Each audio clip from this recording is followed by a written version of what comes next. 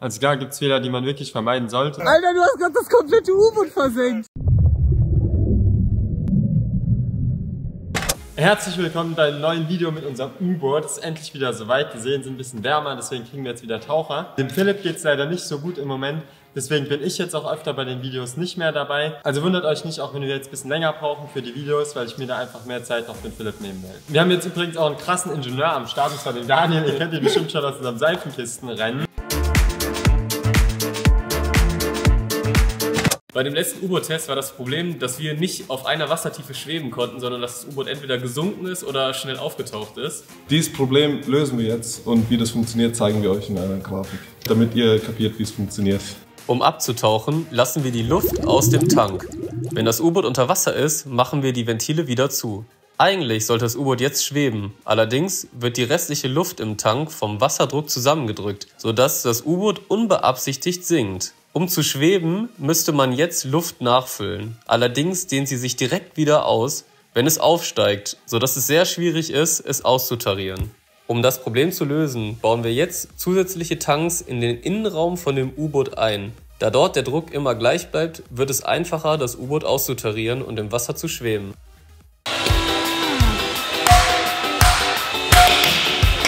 Darf bloß nicht bleibvoll sehen. Das ist eine gute Zange. Die hat sich hervorragend dafür geeignet, oder? Wunderbar. Das ist ein Multifunktionstool.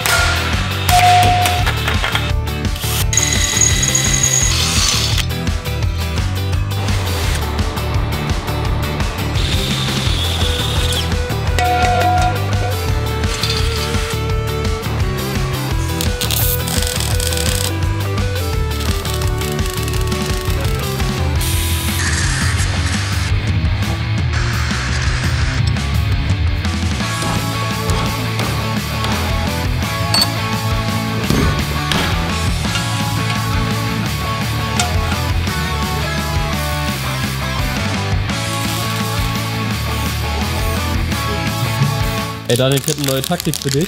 Du musst einfach einmal tief Luft holen, runtertauchen, ins U-Boot lackieren und dann wieder auftauchen. Okay, mach jetzt.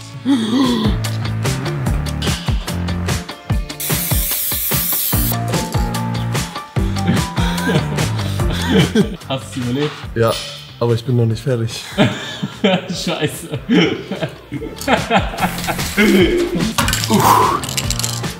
das ist schon ekelhaft, oder? Ja.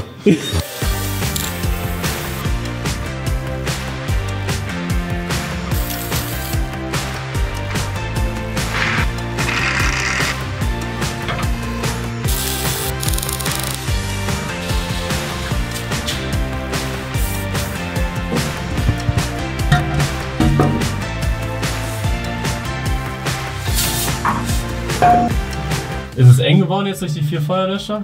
Ein bisschen, also zu fünft kann man hier nicht mehr drin tauchen. Weißt du, was das Problem ist? Nein. Dass du einfach zu breit bist. Nee. Gerade mal hier den ersten Test mit den Feuerlöschern. Das geht schon, oder? Ja, es passt. Also wir zwei Dicken, wir passen. Daniel hat gerade noch was ziemlich Geiles festgestellt. Ich habe hier ein Musikinstrument eingebaut. Hört sich echt wunderschön an. Wunderschön. Wie heißt denn das Musikinstrument? Ähm, Schweißdrahtangel.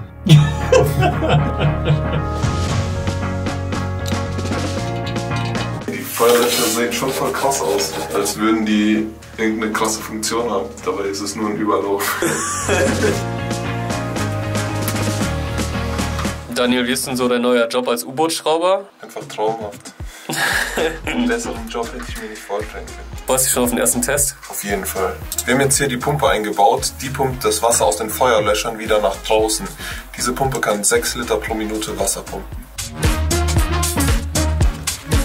Wir wollen unbedingt wissen, wie schwer das U-Boot ist, deswegen wiegen wir es jetzt einmal. Jan ist jetzt der Erste, der seine Schätzung abgibt. Ich bin mal gespannt, was er sagt. Ich würde sagen, das erste Mal hat es 2,1 Tonnen gewogen. Dann schätze ich jetzt mal so, dass es mittlerweile vielleicht 2,3 Tonnen liegt. Aber wenn du verlierst, musst du mit Klamotten in den Pool springen, das weißt du. Da habe ich gar keinen Bock drauf. Ja, okay, aber das ist umso spannender dann, wenn du verlierst. Das stimmt. Okay, komm, fragen wir Daniel. Wie schwer ist es? Ich sag, es wiegt 2,6 Tonnen. Das ist eigentlich jetzt voll spannend, weil ich habe es auf 3 Tonnen geschätzt. Also wir haben... Scheiße, Mann, ich bin am schwersten. ich habe keinen Bock, mit meinen Sachen in den Pool zu springen. Dann fahren wir jetzt erstmal runter und gucken mal, wie schwer es ist.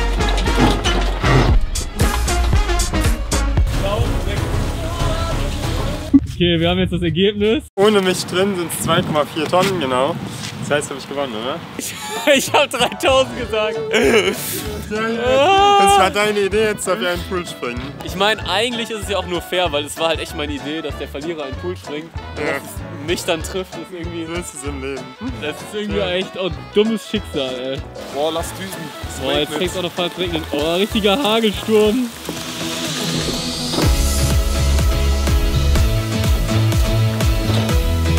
Nochmal ganz, ganz vielen Dank an und die Firma Unsinn. Ich finde, der Name passt perfekt zu uns. Äh, die haben uns den Anhänger hier gesponsert. Der Anhänger hält auf jeden Fall 2400 Kilogramm aus. Das haben wir heute erfolgreich Das haben wir jetzt getestet. getestet.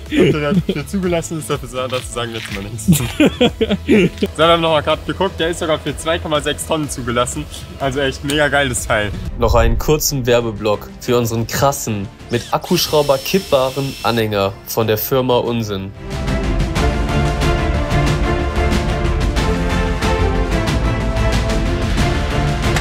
So, der Julius wird jetzt in den Pool geschmissen. Ist voll traurig, dass es heute so warm ist, deswegen ist es überhaupt keine Strafe. Eigentlich ziemlich langweilig. Was sagst du dazu? Ich glaube, heute ist so ein schöner Tag, dass du gleich freiwillig hinterher springen wirst. Das war aber nicht Sinn der Sache.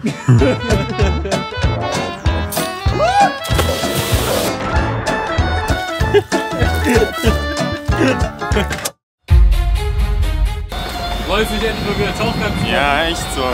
Ey, ist echt mega nice mal wieder jetzt mit dem U-Boot. Ich hab's schon sehr vermisst den ganzen Winter.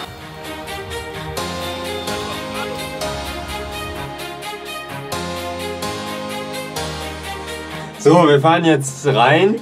Ich bin gleich unter Wasser. Ähm, jetzt ist Wasser schon ein bisschen vor der Scheibe, also wird gleich interessant. Wir waren erstmal unten drin und haben halt damit gerechnet, dass das U-Boot jetzt einfach äh, weiter schwimmt.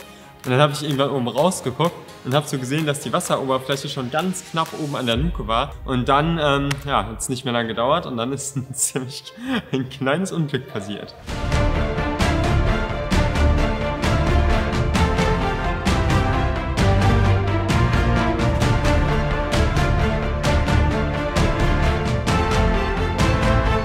Tja, und dann irgendwann war es zu spät. Und dann, als das Wasser oben rein ist, dann konnten wir auch echt gar nichts mehr machen. Also ich glaube, dann war es einfach nur vernünftig, schnell auszusteigen und das Ding halt absaufen zu lassen. Ach du Scheiße! Junge, was habt ihr da gemacht? Alter, du hast gerade das komplette U-Boot versenkt. Weg ist es. Ja, das U-Boot ist untergegangen. Ja. Nicht eine Runde gefahren, jetzt weg ist es.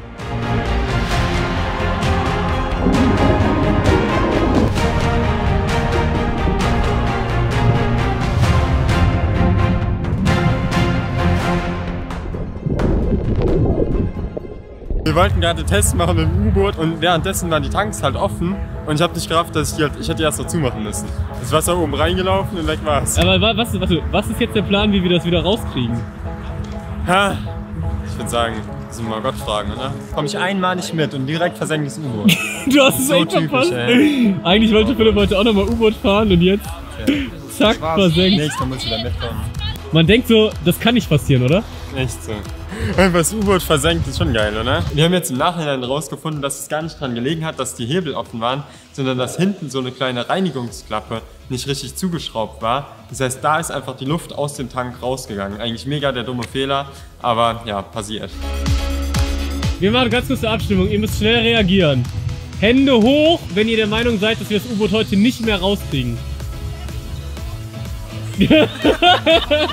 okay, Hände hoch, wenn ihr glaubt, dass wir das U-Boot rauskriegen. okay. Jetzt aktuell 21 Uhr 34. Also ihr habt nicht mal sogar zweieinhalb Stunden Zeit, um dieses U-Boot da rauszuholen. Das wird eh nix. Ja. Wird nichts. Niemals. Das ist Wir, vorbei. man braucht immer einen Pessimisten im Ganz Team. genau, der bin ich. Und man braucht immer einen Optimisten. Da hab ich einen guten Satz. Ja. Der Optimist sagt, schlimmer geht's nicht. Der Pessimist sagt, doch. Das Krasse war, dass das U-Boot ja dann erstmal in See gelegen hat. Ich wusste jetzt nicht mehr, wie man es rauskriegen soll. Aber das Coole war, dass einer dabei war und der kannte jemanden, der irgendwie so eine riesen Baufirma hat. Und die haben dann einen riesigen Kran geholt.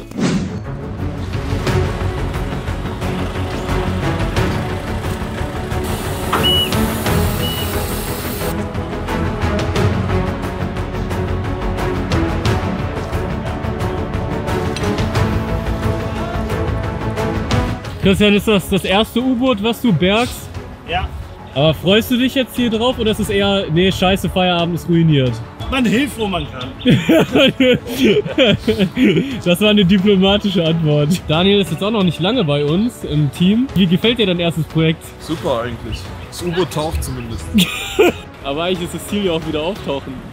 Ja, da sind wir gerade dran.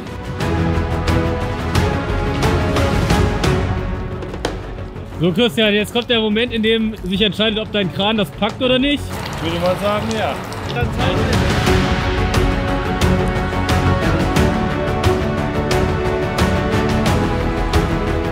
Leute, mal kurz einen fetten Applaus für den Christian, der hat's rausgezogen.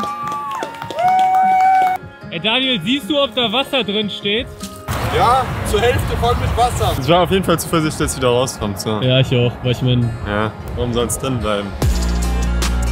Ich stehe im Wasser.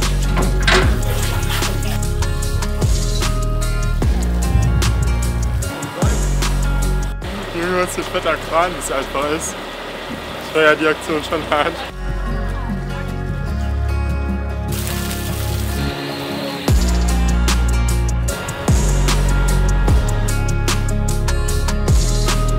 Ich hole mit den Feuerlöschern ein bisschen Wasser raus, weil wir haben keinen Eimer oder so zum Rausschöpfen.